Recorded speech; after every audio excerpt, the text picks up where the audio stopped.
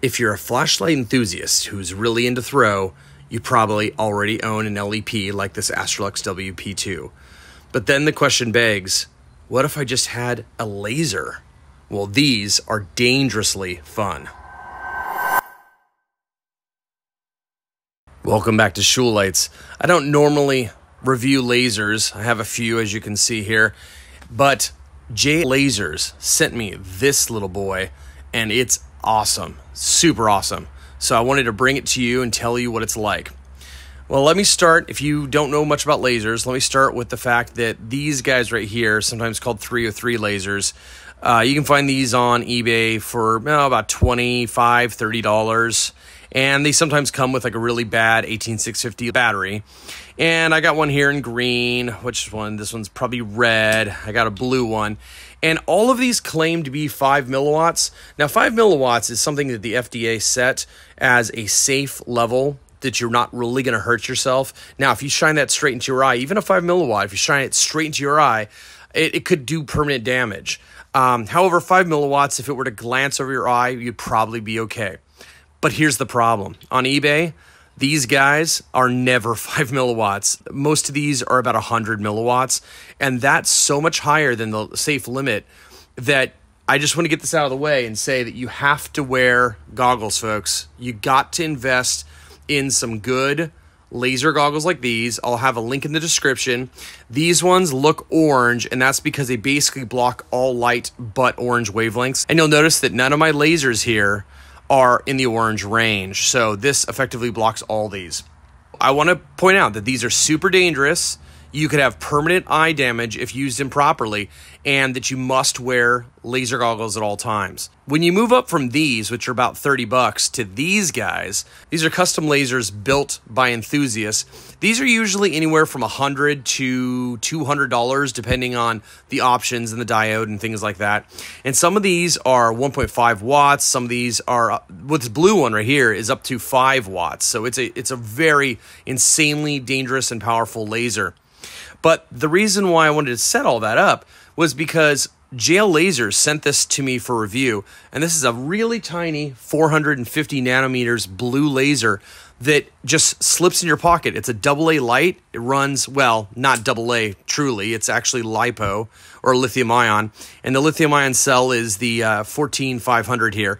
I do not think this will run on a double A. I believe it'll be under voltage. But anyhow, this guy is really tiny and it puts out a ton of wattage. So again, be very careful with it. Wear safety goggles. Since we're talking about a blue laser, let me go ahead and just kind of get down to blue lasers here. And let me mention that blue lasers have a ton of energy in them. What I mean by that is these things can easily ignite things on fire, and uh, they're some of the most dangerous lasers you can get. Uh, the green lasers are a little bit I, know, I wouldn't say safer, but let's just say that they don't ignite, tend to ignite things on fire like the blue ones. Uh, those short wavelengths are insane for uh, energy. Uh, the reason why green lasers are a little, quote, safer is because at lower wattage, they appear even brighter. And when we start doing beam shots in the day and in the night, you'll see that uh, the green holds up with the blue, even though the blue is much more energy. So I got here uh, just a, a, cheap 303 green uh, for calibration purposes. I've got uh, my 5 watt blue, and then I got this J Lasers uh, 1.6 watt blue. And uh, these are different diodes. I don't know the exact diode of this one. This guy, I'm not familiar with the diode the 450 nanometer blue, so it's a slightly different color. Not that I think you'd notice it much and it's rated at 1600 milliwatts uh, output. So I don't know what the uh, raw output of the diode is, but I know J Lasers told me it's 1.6 watts, 1600 milliwatts. Okay, let's take a look at the actual output of these lasers. I'm going to start with this green because I know it's around 100 milliwatts. I think 105, if I remember correctly. This is an LPM. If you're not familiar with this, is a laser power meter and basically has a thermopile here and you shine the laser at it turns it into heat and measures for how many milliwatts it is let's take a look at uh, if i'm pretty well calibrated and of course i've got my uh, laser goggles on and you can see that the value is rising up there and you can see that i'm about uh, 110 maybe a little bit higher. 110, 111. Well, this is a fresh battery, so uh, and the driver in this is basically just direct drive from what I know. It's just taking directly off the uh, lithium ion battery. So there you go. Um, so this is a typical Chinese uh, $30 uh, laser off of eBay. Uh, the blue one I have over here runs about 80 milliwatts. Uh, that's uh, appropriately named the Assassin. I, I, believe that would hurt you. Uh, but, anyways, this is about 80 milliwatts. And um, I won't bother testing it to make this video too long. But I also want to point out that, uh, just again, for calibration purposes, if I shine my 5 milliwatt here at the LPM, you'll see that this is going to go up to about uh, 5 watts, a little higher. Let me hold it steady. Holding it steady is super important. But you can see we already hit 5 watts or 5.2 or so. If I held it more steady, I'd probably get around 5.3 watts. All right, now let's see how the J Lasers fares. Now remember, this is a so this right here was about 150, maybe 100, maybe 200 dollar laser. I'm trying to remember, I think it was something somewhere in there. Uh, this guy, and this is a big selling point for this laser, is it's sold by J Lasers for $59. What an incredible steal. So let's take a look here. Go ahead and shine it right there at the thermopile, get it close. Oh, let me reset this so we can see the max. But uh, we can see that this thing is rating out at, wow, 1.56. Yeah, 1.56, maybe rounding up to 7. There you go. Now, of course, just like flashlights, there's some battery sag and the diode starts to warm up and so the uh, rate starts to fall down. But uh, we got a peak here of 1.56 watts. So that's amazing. You look at two lasers like this, and one's 5 watts and one's 1.5 watts, and you say, hey, what's that going to look like differently in the sky? Well, we'll take a look, okay? Let's take a look in the daytime and at night because these aren't just for messing around with, these are completely uh, valid for pointing out objects far away during the day. All right, let's take a look at how this laser does during the day. Such a cool little laser, too. So, before I even start, notice that I would never shine this as a human being. If there was a car coming, I would immediately turn it off. And also, I happen to know that my neighbors are away for the weekend, so nobody's coming out of that house I'm about to shine it at. It's about, uh, I, I'm just guessing here, about 30 to 40 meters away. And let's start out with the uh, bigger one just to see, you know, what these things look like during the day and, you know, if it's worth spending three to four times the money and carrying out this big honking thing versus something that slips so easily into your pocket. So let's turn on the uh, big 5 watt and you can see that there is a blue dot over on that uh, house over there. It was over on the garage, and now it's on kind of the pillar right there. And you can see that it's actually kind of a line. I bet you can make that out. And that line is uh, normal. These are multi-mode lasers, and you're never going to get a fine point. That is as actually as narrow as it gets. And you can see that we can easily see this thing during the day. Now let's go to the 1.5 watt, this little guy, and let's see how it does, okay? So click it on. Oh, it's out of focus. This is probably a good time to talk about that. I don't know if you can tell, but it was just this huge out of focus blob on the garage there. Now, mostly that was because I had this thing focused for uh, looking at the LPM. So I'm going to turn the front optic until I get a little tiny line. Okay, there we go. So there you have it. So there's a little line there that is on the uh, garage, and now it's over on the pillar. And you can see that it is really bright. So let's go side by side and see. You know, I got to be honest. I mean, yeah, the 5 watts brighter, but I wouldn't say, you know, three, four times brighter, slightly. In fact, the line on the little guy is better, isn't it? So that's pretty cool. I also want to point out that if you want something highly visible in the day, I would go a green laser. Here is a uh, less than 1.5 watt green laser. So this is this laser here has less wattage than the little tiny J Lasers Blue. So take a look and you can see that it is much easier to see this little green laser. Well, the, I mean the dot's little. It's a giant laser. But you can see it's also a line. So if you want something for pointing out in the daytime, blue will work, but green is probably much better for spotting with your eyes. All right, time for some beam shots. First, I'm going to start with a green 303 laser.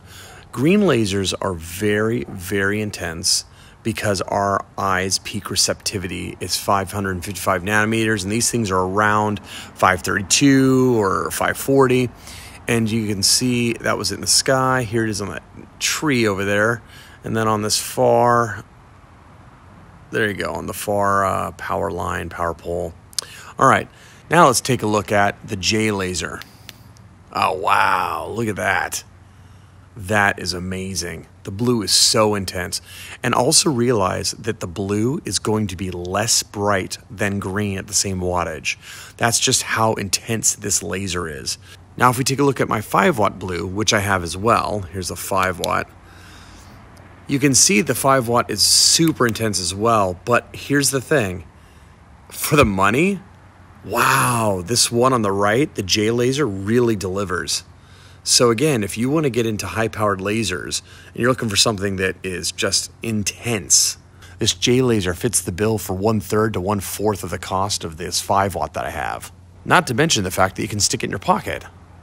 All right, here we got a little small box, and you know I'm gonna shine both the green laser that I have and this little tiny blue JL Lasers at it, just to show how much more energy the blue has. The uh, green laser, as I said, is around just under a, a, watt, and this one is about 1.6. But trust me, the blue itself is so much more dangerous. So let's take a look. I'll uh, shine it here on the box, and you'll see that the green laser, trying to hold still, try and hold it real still. I'm having trouble igniting the box. So there you go, that's having a little issue there. All right, let's try the JL Lasers Blue, and you can see how much more energy. See, it's instant. It's a big difference, okay? So you can see there's a little tiny ember right there too. So that should illustrate how dangerous these uh, blue lasers are. So be really careful. I would say only up into the sky, not around airplanes for sure. That's a federal offense. Um, and always use safety goggles and keep them out of the hands of children. All right, let's take a look at the construction of this thing.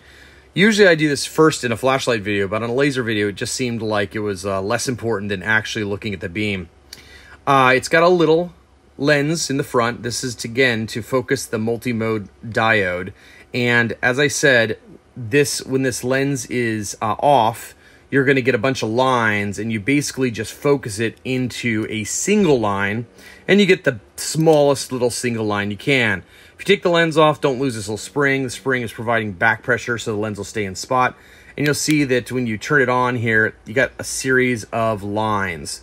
And you just want to go ahead and get those into a tiny little focus line at the distance you're at. Uh, I find that if you hit a pretty good focus line at about, you know, 30, 40 meters away, you're going to be pretty good all the way up into infinity because uh, that's the way optics work. Now, the host itself, I just love the look of it. I actually think this is one of the best lasers I have. Uh, these guys, the little 303s, they look just, you know, mass produced and, you know, they're all right. Uh, the buttons on these, by the way, feel terrible. The buttons are just, uh, I don't know, they're just, just adequate.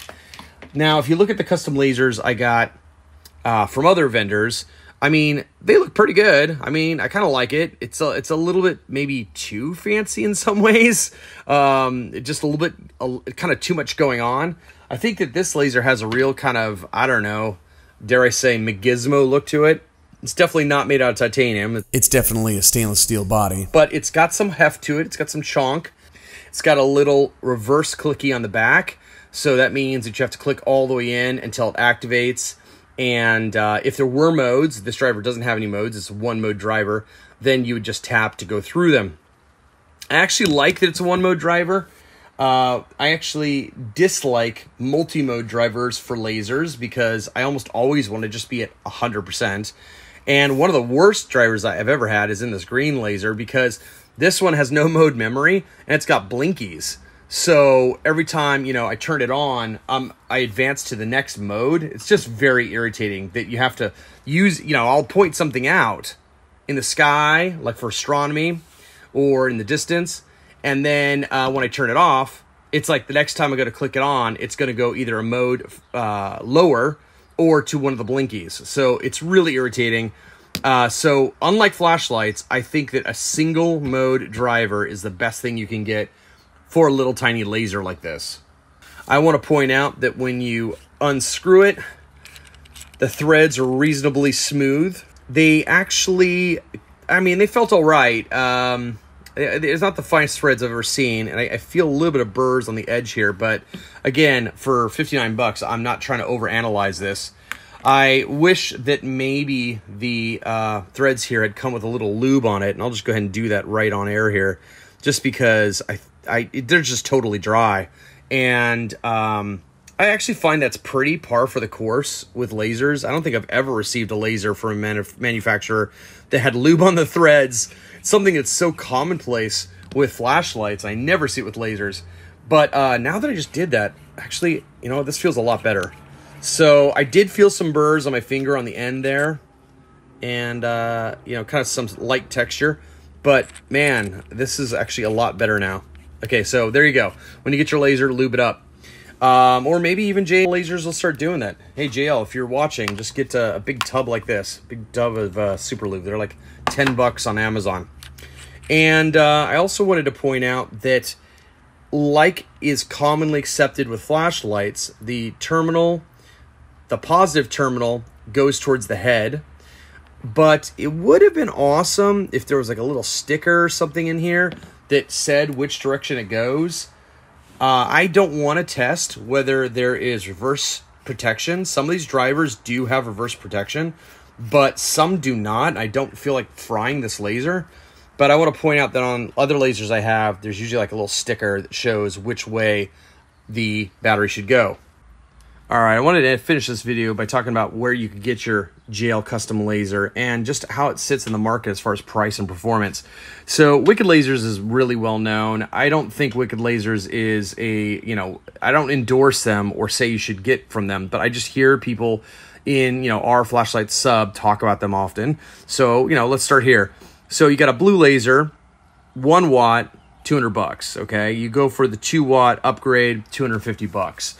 So already you can tell what a value this 1.6 watt is for 59.99.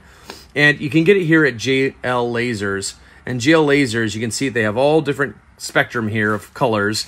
And here's the one that I'm using right here, this uh, 450 nanometer 1.6 milliwatt laser in stock $59.99 plus shipping. Now, it comes from Canada, so if you're in the US, you're going to pay a little bit for that. But I mean, gosh, you're saving so much money over some of these other manufacturers. Also, you're supporting small business. This is a company that's run by one guy, kind of a you know Hank Wang, if you will, and he hand builds everything in house. The uh, website up here, I'm going to put a link in the description, and I'm also got some text on screen right now. It's uh, a tricky link, you know. Again, he's a small business, so he hasn't paid for the dot .com yet. So it's uh, sites.google.com slash and all this. I just want to point out that when you put it in, uh, old is spelled with an extra E, you know, kind of like an old timey version, and shop is spelled with an extra E as well. So again, if you're looking for a cost effective, great, just wow of a laser, this is it. And if you've heard me give a bunch of disclaimers during this video about wearing proper eye protection, keeping it out of the hands of children, I'm not trying to overstate this. These are seriously dangerous. And one small reflection, one specular reflection off something shiny can get this thing to come back to your eye and cause permanent blindness. So be really careful, guys. And if you're looking, I just don't want to feel like I made anyone go get a device that they were not comfortable with and they cause themselves harm. Okay? All right, guys, I'll see you in the next video.